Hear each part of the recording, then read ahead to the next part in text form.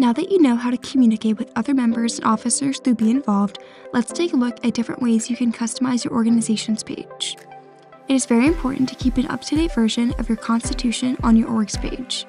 To edit, go to your settings and scroll down the page to find where you can input your Constitution. In your settings, you can also edit your org's logo, cover photo, mission, and more. Each recognized student organization gets 2 gigabytes of storage space in their files. To access your files, click the Files tab on your left navigation bar. Here you can view all your folders and files uploaded. Your organization also has access to several features that focus on developing your members. These features are found in the Member Success tab on the left navigation bar. Here you can create training modules, new member checklist, and more using the Tracks and Checklist tool.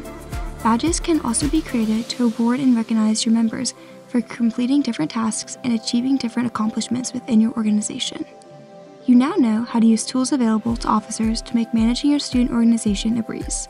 If you have questions or how to make BeInvolved work for you, do not hesitate to reach out to BeInvolved at jmu.edu.